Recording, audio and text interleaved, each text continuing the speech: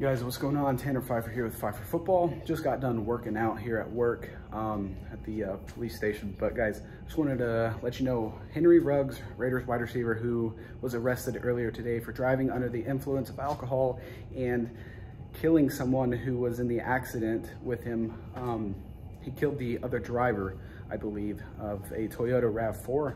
So I want you guys just to tell me your thoughts down below. Um, but Henry Ruggs has been released young kid, young wide receiver. I think is his what his third year at Alabama, third or fourth year. Um, Henry Ruggs is officially released, guys. Same day that this accident happened. I think it happened like before today, before today's trade deadline. So like eight hours later, eight or nine hours later, Henry Ruggs is released. Anyways, guys, make sure you hit subscribe. See you later.